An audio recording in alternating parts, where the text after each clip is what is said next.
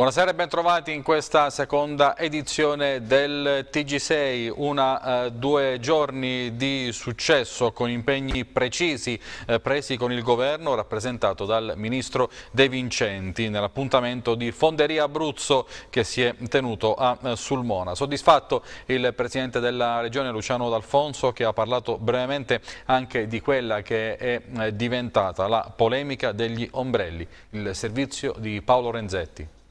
Un successo la due giorni sul Monese di Fonderia Abruzzo che si è tenuta nel weekend scorso con la partecipazione a Sulmona fra gli altri del ministro Claudio De Vincenti, tanti i successi enunciati dal presidente della regione Luciano D'Alfonso. Tre risultati ci vedono soddisfatti.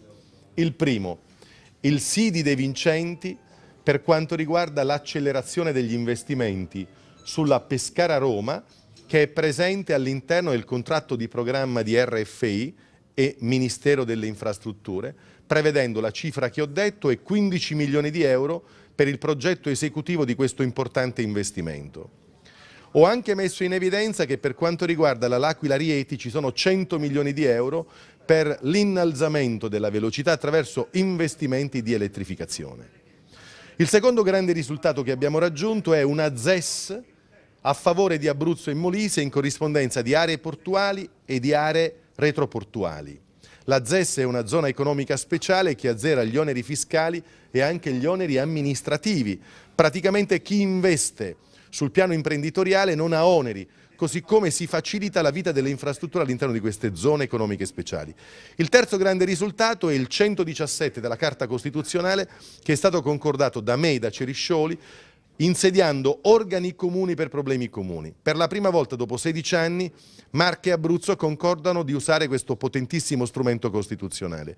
Il primo risultato che noi assumeremo in questo cantiere è la velocizzazione dei tempi di percorrenza tra Ascoli e Teramo, occupando un investimento di 150 milioni di euro per una strada di 30 km di distanza che aspettava da 30 anni di essere resa oggetto di cantiere. Partiremo con il progetto, abbiamo già fatto fronte comune con la Presidenza del Consiglio dei Ministri e col MIT. Non è mancato poi un piccolo accenno del governatore alla polemica degli ombrelli con alcune ragazze che nella città Peligna, durante la tavola rotonda all'aperto, avevano mantenuto degli ombrelli per coprire gli illustri ospiti dalla pioggia. Ah, io credo che la democrazia sia fatta davvero di progetto e anche di polemica. Questa polemichetta che è stata messa in campo, secondo me, ci aiuta ad allungare il pensiero. Will e Caritas diocesana di Pescara insieme per favorire l'integrazione di richiedenti asilo, rifugiati e beneficiari di eh, protezione umanitaria. Questa mattina la sottoscrizione del protocollo d'intesa tra la Fondazione Caritas dell'Arcidiocesi di Pescara Penne Onlus, la Will Abruzzo e la Will Scuola Pescara che darà inizio alla collaborazione tra le due realtà territoriali per eh, l'avvio di un progetto di alfabetizzazione. Com'è nata questa iniziativa con la Caritas eh, rivolta ai rifugiati e agli immigrati che eh, sono nella nostra provincia? Ma questa iniziativa nasce per la volontà del sindacato di porsi come uno strumento sul territorio volto naturalmente a eh, occuparsi degli interessi globali di quello che può essere il cittadino. Pertanto è un percorso che ehm, portando queste persone all'interno di un pezzo della nostra società, che nel sindacato è è il mondo del lavoro ma anche l'integrazione ma anche le politiche di pari opportunità eh, intende iniziare questo tipo di percorso quindi non sono delle lezioni finalizzate a un apprendimento puramente grammaticale come si può immaginare ma a offrire delle competenze che poi possono essere spese sul territorio e a offrire soprattutto delle, delle nozioni su quello che è il nostro modo italiano di agire la nostra cultura in senso molto più lato. Sicuramente è necessario ed è importante, per questo che ringraziamo la Will per questa possibilità che ci offre, eh, perché tutto passa dall'imparare la, la, lingua italiana per poter eh, almeno capire e sapersi orientare. I migranti che arrivano sul nostro territorio non, non sanno nemmeno di essere in Italia, tantomeno conoscono Abruzzo Pescara, per loro c'è solo il desiderio di una vita migliore. Eh, questo può, ci può essere se, eh, se si comincia a conoscere innanzitutto il paese dove si trovano, le regole che, che ci sono da rispettare eh, e anche gli impegni che poi anche loro devono assumere nel rispetto di chi, di chi li accoglie. Noi come tutto il resto del nostro paese ci troviamo di fronte a questo fenomeno da numeri che forse qualche tempo fa nemmeno si potevano immaginare, però eh, oramai ci siamo, eh, sicuramente eh, non possiamo avallare più una situazione del genere, però ora ci siamo e io mi appello al senso di responsabilità di tutti, delle, delle forze politiche, forze sindacali, ma di tutti. Aveva creato nella sua abitazione un piccolo market per lo spaccio di droga, in particolare di cocaina, hashish e marijuana. Il viavai di persone nei pressi dell'abitazione ha però eh, insospettito gli agenti delle squadre mobili di, eh, delle questure di Pescare Chieti che nell'ambito di una operazione antidroga del weekend hanno fatto irruzione nella casa di un eh, 28enne di Città Sant'Angelo in provincia di Pescara dove in uno zainetto che la convivente, eh, una 26enne indagata a piede libero per aver concorso nella detenzione a fini di spaccio, aveva tentato di nascondere. I poliziotti hanno rinvenuto e sequestrato due eh, involucri in cellofan contenenti quasi 3 etti di marijuana, circa 10 grammi di eh, cocaina ed un piccolo quantitativo di hashish, oltre ad un mm, macchinario utilizzato per l'imbustamento sottovuoto dello stupefacente. Il giovane, che deve rispondere di detenzione ai fini di spaccio di sostanze stupefacenti, è stato rinchiuso al carcere di San Donato. In particolare la eh, cocaina, una volta tagliata, avrebbe fruttato alcune decine di eh, dosi. E Sandro Mariani, capogruppo del PD in Consiglio regionale, il nuovo commissario comunale del Partito Democratico di eh, Teramo. Mariani traghetterà il partito teramano verso il congresso di ottobre e già annuncia un nuovo progetto di rilancio. Tania Bonici Castelli. Da oggi inizia la fase commissariale per il Partito Democratico di Teramo, dopo le dimissioni del segretario comunale Maurizio Angelotti. Lo ha deciso il segretario regionale Marco Rapino, individuando nella figura del capogruppo alla regione Sandro Mariani il traghettatore politico sino al congresso di ottobre. È stato un po' criticato questo commissariamento, ma era necessario? Allora, era eh, più che necessario, secondo me obbligatorio. Cioè, qui stato, sono state le dimissioni del segretario dell'Unione Comunale a Teramo. Si, abbiamo provato a fare un coordinamento per gestire il tutto, stiamo parlando della città di Teramo, quindi non di un piccolo circolo. Dopodiché bisogna che qualcuno si assuma la responsabilità su questa città mh, verso un partito, verso la cittadinanza innanzitutto, ma verso un partito uh, grande come il PD. Quindi ci vuole il commissario, ora noi lo chiamiamo commissario, ma può essere coordinatore, può essere chiamato in qualunque modo, che accompagni eh, sulla città di Teramo eh, a ricostituire gli organi che si sono dimessi. Molto semplice, non c'è non credo, questa polemica la vedo sterile, insomma è sciocca. Il nuovo commissario Sandro Mariani promette di non andare in vacanza e di lavorare sodo fino al congresso insieme ad una squadra composta prima di tutto da consiglieri comunali e dal presidente della provincia Renzo Di Sabatino. Lei traghetterà questo partito, il PD Teramano, al congresso e durante questo periodo che cosa farà? Sicuramente in un momento molto difficile e complesso ci sarà un atteggiamento inclusivo eh, con i consiglieri comunali che sono legittimamente eletti eh, nel Partito Democratico avremo modo di sederci e studiare la strategia, così come tutti gli altri elementi che sono rappresentativi dentro il partito della città, per poi fare un percorso insieme e studiare le strategie migliori per ritornare a parlare di temi nella città. Perché questo partito si è sfilacciato? Beh, penso che il problema non è eh, soltanto a livello locale, anche a livello nazionale, è un momento in cui i partiti hanno perso un po' la loro identità, la loro credibilità e va ricostruita non solo sui giovani e nuovi volti ma anche con i contenuti. Unità, inclusività e nuove alleanze sono le parole d'ordine per un partito che a Teramo vuole ripartire dopo litigi interni e abbandoni autorevoli. Provincia dell'Aquila si vota il 30 luglio per conoscere il eh, nome eh, del futuro eh, presidente eh, che prenderà il posto di Antonio De Crescentis. Nonostante la riforma la provincia fa gola a tanti e sono in corso manovre politiche e eh, riunioni eh, di partito. Il servizio di Daniela Rosone.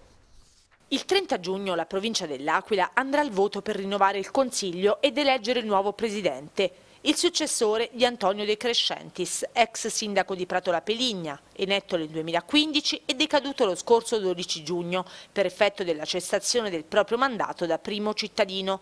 Non saranno elezioni dirette. Per effetto della riforma del Rio, infatti, le province sono state sostituite da assemblee formate dai sindaci dei comuni che fanno parte della provincia e da un presidente.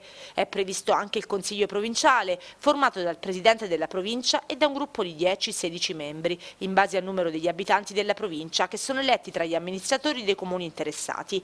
Il Consiglio provinciale dell'Aquila è formato da 10 consiglieri più il Presidente e sono 1223 gli elettori tra sindaci e consiglieri chiamati al voto.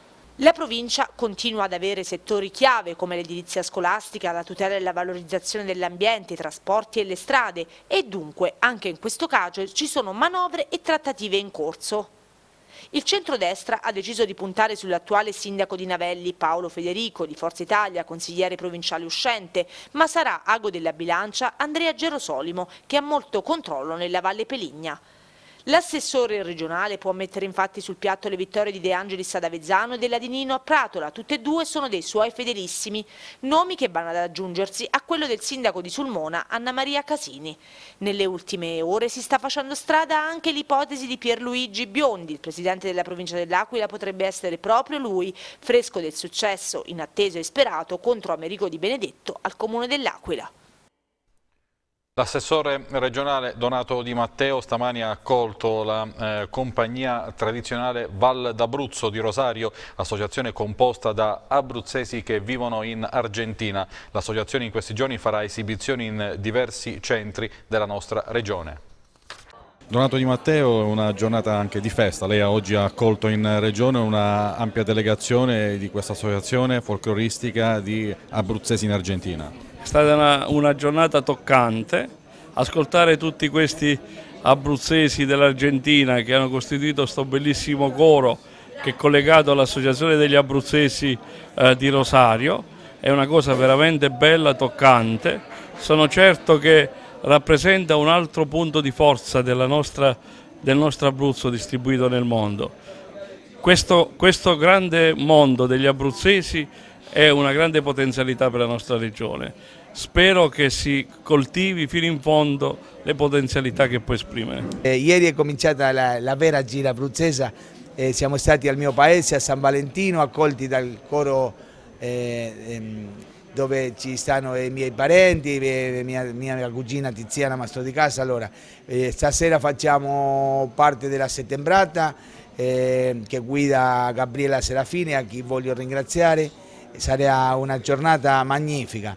E poi, eh, se non sbaglio, a Casalbordino, a Fosalcesia, a Lanciano, a Lama dei Peligni, saremo ospite di Camminando insieme a Chieti e resteranno tre giorni di lavoro importantissimo eh, dal 10 al 13 con eh, la compagnia teatina per, per le tradizioni abruzzese eh, guidata dal professore Stoppa e lì faremo ci metteremo all'entroterra abruzzese a fare mietitura, a fare cucina, che ne so io, a fare canti, a fare tessuti, a imparare le vere tradizioni. Poi ci sarà anche l'unione del CRAM, peraltro proprio a Rosario nei prossimi mesi. Abbiamo pensato quest'anno di riportarlo lì in Argentina e sarà un'iniziativa veramente interessante. Abbiamo previsto che spenderemo di meno di quello che che si spenderebbe se si facesse qui in Italia, per cui questa volta, dopo oh, tre iniziative fatte in Abruzzo,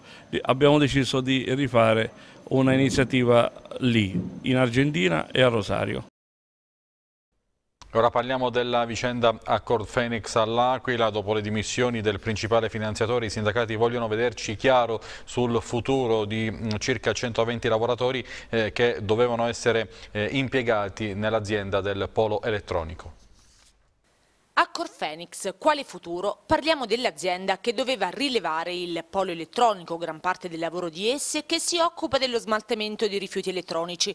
Le dimissioni del principale azionista, l'imprenditore inglese di origine indiana Ravi Shankar, presidente del CDA della Corfenix, aprono molti interrogativi nei sindacati, che chiedono ora certezze sul futuro di circa 120 lavoratori che dovevano essere impiegati e che al momento sono ancora a casa senza lavoro. Eh, sono dimissioni da noi apprese dagli organi di informazione, quindi non eh, comunicati dall'azienda e ci preoccupano moltissimo in quanto stiamo parlando del soggetto principale di tutta l'operazione Accord Phoenix, del mh, proprietario del 90% delle azioni, di quelli che ha portato tutti i finanziamenti per fare l'operazione, quindi eh, ci preoccupa, vorremmo sapere dall'azienda cosa significa chi prenderà il suo posto, se questo significa che l'ingegner Ravi eh, si difila dell'operazione oppure c'è ancora con tutti, quindi bisogna capire che ritengo fondamentale capire, anche perché in questo momento l'azienda sta facendo i lavori che è stato da, da altri tribunali sono stati imposti per poter fare la riapertura perché ancora oggi sotto sequestro, anche se hanno il permesso per fare i lavori. Quindi eh, noi vorremmo sapere dall'azienda, non certo dai giornali, purtroppo abbiamo saputo le cose dai giornali, quale sarà il futuro do, dopo queste dimissioni. Presentata questa mattina a Pescara la convenzione firmata da CNA Abruzzo e dal circuito Abrex per lanciare uno strumento di credito alternativo a disposizione delle aziende. Vogliamo spiegare cosa farà Abrex con la CNA in concreto? Abbiamo, come dicevo, lo stesso tipo di approccio rispetto alle problematiche eh, relative alle difficoltà economiche che in questo momento attannagliano il nostro territorio, ma non solo il nostro territorio, tutta l'Italia. E quindi eh, noi insieme a loro riusciamo sostanzialmente su, sulla parte relativa a, a, alla capacità di finanziamento che le aziende riescono a trovare attraverso eh, Fidi Impresa, attraverso le, le, le, il sistema di Fidi eh, di, di, CNA, eh, una selezione di quelle che sono le aziende che magari hanno qualche difficoltà in più e che, che da noi hanno la possibilità di essere finanziate perché per noi è importante molto di più eh, la capacità produttiva, eh, la capacità di penetrare nei mercati piuttosto a quelli che sono i parametri che magari un sistema bancario non riesce a capire. Cioè per noi un'azienda che ha prodotti può andare bene per noi, un'azienda che ha prodotti per una banca non va bene se non ha eh, tutti i conti a posto. È un'iniziativa interessante che può portare frutti importanti per le nostre imprese, è un circuito serio, affidabile, chiaramente si tratta di una moneta virtuale che sarà complementare all'euro, non pensiamo sicuramente di sostituirlo, ma di questi tempi di crisi anche di credito bancario può eh, rappresentare un buon veicolo per aumentare i volumi e le attività delle nostre imprese. Se noi vogliamo fare un buon lavoro non ci dobbiamo rivolgere solo a quelli che hanno qualche problema e qualche difficoltà, ma anche alle aziende sane che possono affiancare al credito bancario questo credito Abrex che viene scambiato diciamo, tra le varie imprese che fanno parte del circuito con prodotti o servizi e quindi possono completare bene la loro gamma di attività. L'associazione Sofia si è aggiudicata la gara per la gestione della eh, biblioteca Antonio Russo di Francavilla al Mare. Da oggi nuovi orari e più servizi eh, illustrati stamani eh, dall'amministrazione comunale. Davis De Luca, nuovi eh, servizi, nu nuovi orari per la biblioteca Antonio Russo qui a Francavilla. Eh, tutte le mattine dalle 9 alle 13, dal lunedì al venerdì e i pomeriggi, quindi ampliamo da 20 ore a uh, 32 ore passiamo di, di, servizio proprio per incrementare, implementare i servizi già presenti nella nostra, nella nostra biblioteca, poter lavorare meglio anche questo orario è stato pensato soprattutto per le scuole, per lavorare bene con uh, i ragazzi eh, delle, delle, scuole di, tutte, di, ogni ordine e grado. E, e ovviamente i cittadini che possono finalmente venire tutte le mattine in biblioteca e i pomeriggi che già che già diciamo, apriamo al pubblico e sono stati implementati poi servizi di catalogazione, quindi andando sul sistema Abruzzo Interbiblio che è un sistema di biblioteca comune che coinvolge anche mm, Lanciano, eh, Pineto e Roseto che conta su 180.000 documenti complessivi. E inoltre abbiamo eh, la partecipazione più attiva più, um, con le associazioni locali attraverso delle convenzioni che stiamo facendo man mano con le varie associazioni culturali del territorio e che permettono appunto di creare quella che è un po' l'idea anche che abbiamo visto con il vice sindaco, vice sindaco Buttari della biblioteca sociale.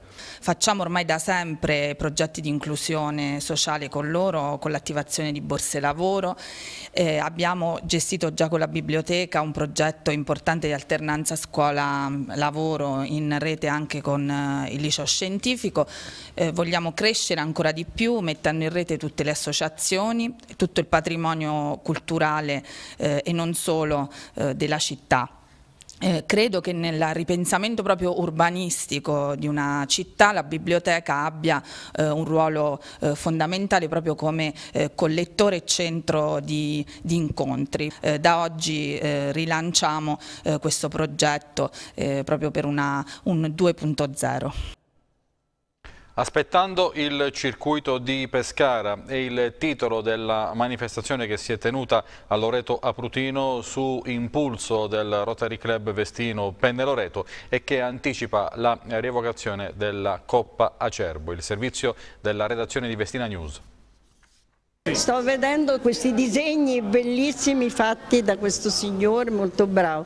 E poi è la, la coronazione di tutto un bellissimo raduno di personaggi che si ricordano di Tito Acerbo e di Giacomo Acerbo, cioè Tito l'eroe e Giacomo Acerbo l'uomo grandiosamente vissuto tra, tra, fascismo, monarchia, repubblica, ha avuto il premio de, dell'uomo eh, che ha fatto un, un sacco di cose bellissime e ha ricevuto la medaglia d'oro per l'istruzione, quindi questo da, da segni che era ormai il Presidente della Repubblica italiana. Si è concluso adesso l'incontro sul novantesimo della provincia di Pescara, ci sono stati interessanti interventi, abbiamo ricordato delle figure che oramai sono consegnate alla storia,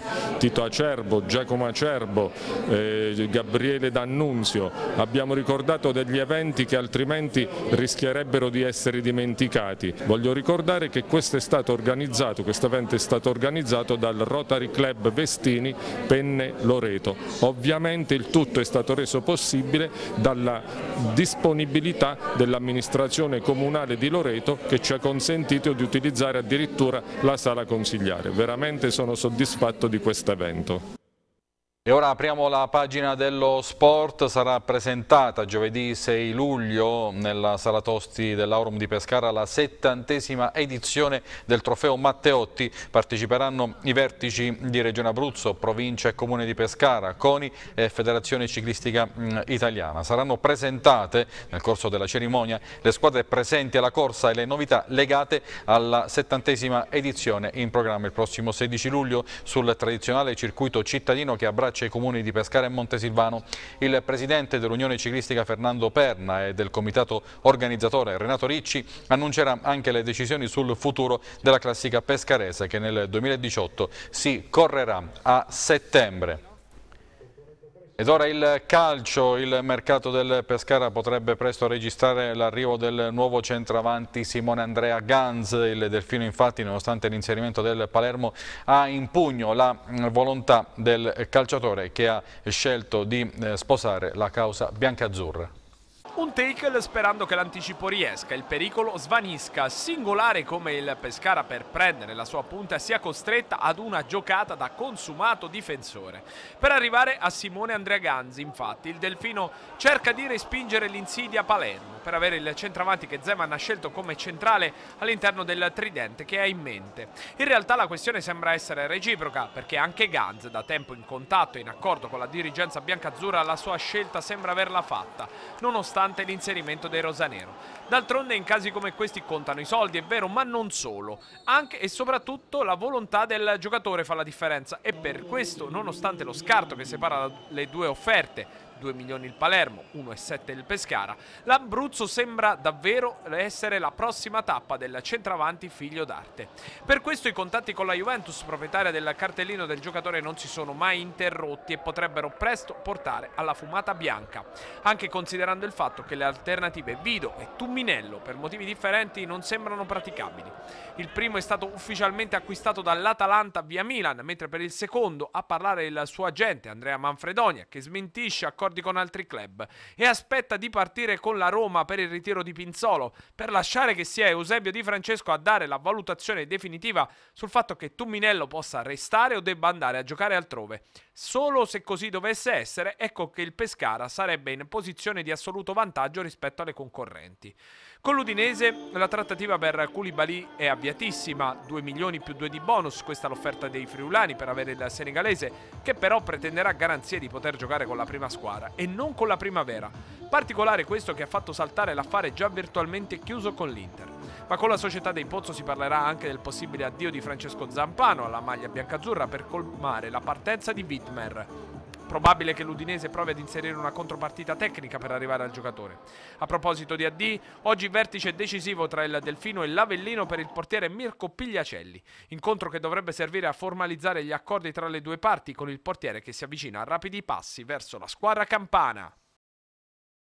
Ed ora in Lega Pro, anche in casa Teramo, il momento del mercato. Vediamo le ultime eh, novità in questo servizio.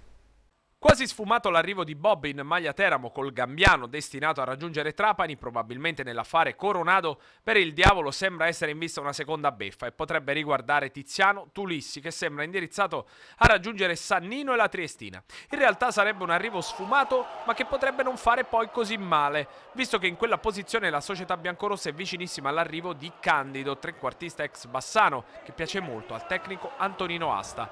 Sarebbe il primo arrivo ufficiale di una nuova stagione stagione che dopo gli innesti di Asta appunto e Repetto domani vedrà l'ufficializzazione e relativa presentazione del nuovo direttore generale Emilio Capaldi. Il Neo DG dovrebbe tenere una conferenza stampa allo stadio Bonolis prendendo il posto di Gianluca Scacchioli. Dunque compagine dirigenziale e tecnica totalmente rinnovata in casa Teramo che sta valutando anche delle cessioni per smagrire una rosa ancora troppo folta e ancora troppo costosa per pensare di ripartire con uno slancio diverso. A centrocampo tuttavia potrebbe tornare dopo la mare esperienza di Taranto Lorenzo Paolucci via Pescara. Il ragazzo la scorsa stagione ha fatto vedere buoni numeri e l'annata disgraziata in Puglia gli è servita per maturare ulteriormente. Se dovesse rivestirsi di bianco-rosso Asta potrebbe contare su una mezzala in grado di garantire qualità nella zona nevralgica del campo. Un altro prospetto biancazzurro e che il Bonolis, seppur con colori diversi, lo conosce bene, è Alessio Milillo, centralone che ha giocato a San Nicolò, ma che in coppia con il confermato Altobelli formerebbe la cerniera centrale di scorta rispetto a Caidi e Speranza. In attacco per Polidori non si registrano molte novità, ma il mercato potrebbe entrare presto nel vivo, visto che tra due settimane il diavolo parte per il ritiro e nonostante Asta continui a predicare calma e fiducia, ancora non vede l'abbozzo della squadra che sarà. Ed allora è evidente che l'inizio di questa settimana potrebbe regalare i primi colpi di mercato, sia in entrata sia in uscita. Sul piede di partenza infatti ci sono Imparato, che andrà via rescindendo il contratto, e Baccolo, che quasi certamente potrebbe avere un destino simile. Poi toccherà agli altri, e non saranno molti quelli che il Teramo confermerà dopo un'annataccia come quella appena messa alle spalle.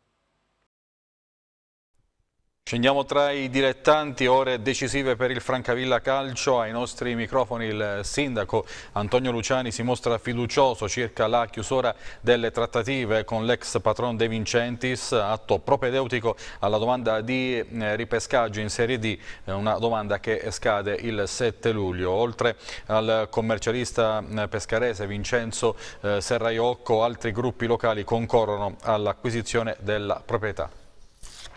Sindaco Luciani c'è l'incognita calcio a Francavilla con un ripescaggio che è molto concreto ma c'è il nodo societario da, da, sciogliere. È venuto fuori il nome di Vincenzo Serraiocco, noto commercialista eh, pescarese, però questa trattativa con eh, l'uscente De Vincentis sembra essere incagliata. Allo Stato qual è la situazione? Ma allo Stato io mi auguro e spero che oggi sia una giornata fondamentale per il calcio francavillese. Eh, ieri mi sono visto, nella giornata di ieri mi sono visto con il Presidente De Vincentis, abbiamo fatto il punto della situazione, eh, io ho manifestato diciamo, al, al, Presidente la volontà di questa città di eh, partecipare al campionato di Serie D e quindi mh, ho auspicato che qualsiasi soluzione venga presa consenta di presentare appunto la domanda, le fideiussioni, di pagare ciò che c'è da pagare. E ho trovato il Presidente De Vincentis abbastanza sereno in questo, mi ha garantito su questo punto, eh, le trattative sono sono diverse, ci sono diversi gruppi che vogliono fare calcio a Francavilla, ora eh, lui sceglierà quello eh, diciamo, che reputa il migliore anche in base alle sue esigenze, ma soprattutto in base alle esigenze del Francavilla Calcio. Io penso che oggi ci sarà fumata bianca, sono fiducioso e quindi in un senso o nell'altro avremo un nuovo presidente e quindi una società che proverà ad iscriversi al campionato di Serie D. Quindi non hai detto sia Serraiocco il nuovo presidente del Francavilla? No, una delle possibilità è quella di Vincenzo Serraiocco, il quale ho sentito anche telefonicamente, mi sembra ieri o l'altro ieri, eh, lì si è incastrata la, la, trattativa, poi io nei dettagli sinceramente non ci entro, qualche problema è sorto, però diciamo che è ancora in corsa, oggi eh, eh, si può ancora fare tutto, ci vuole concretezza, entro la giornata di oggi io mi aus auspico che queste trattative vengano concluse e che quindi ci sia il cambio al vertice della società. È tutto per questa seconda edizione del TG6, prossimo appuntamento alle ore 23. Grazie per l'attenzione e buona serata.